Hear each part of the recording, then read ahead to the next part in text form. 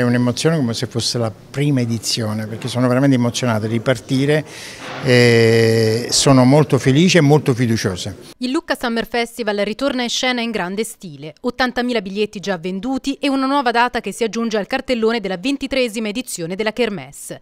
Ad annunciarlo è il patron della manifestazione, Mimmo D'Alessandro, che a margine della conferenza stampa di presentazione del festival ha rivelato che ci sarà un terzo big dopo i già noti Blanco e Bieber a salire sul palco degli spalti delle mura questa stagione. La data è il 20 luglio e il nome è Zucchero Fornaciari. Non abbiamo assolutamente abbassato l'asticella, anzi l'abbiamo rinforzato.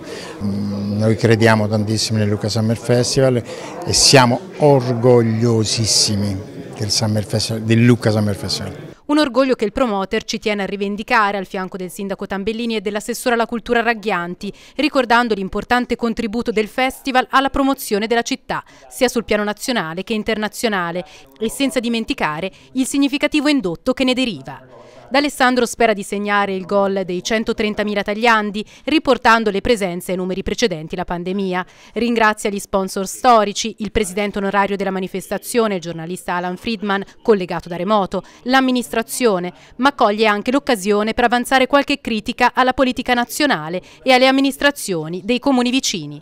Troppo sproporzionati, dice, i contributi statali per le kermesse musicali e qui l'allusione è ai 250.000 euro stanziati dal governo per il Pistoia Blues. Molti individualismi e poca capacità di fare sistema.